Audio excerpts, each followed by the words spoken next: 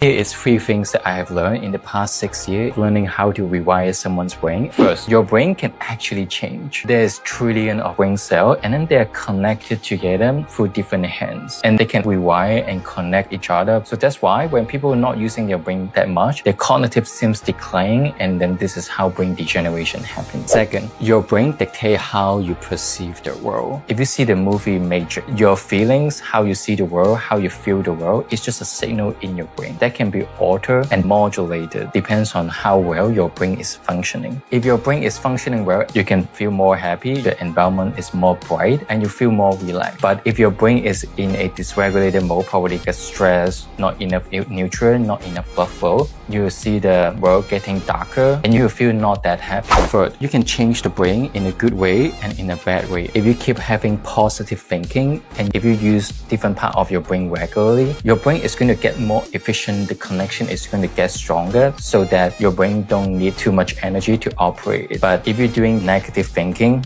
and you're not using the brain as much, the part that not being used is, is going to be unwired, which is brain degeneration can happen. I'm Dr. Pang, specialized in functional neurology. I help people rewire their brain to get rid of their ADHD, cognitive decline, air hunger, and things that coming from the brain.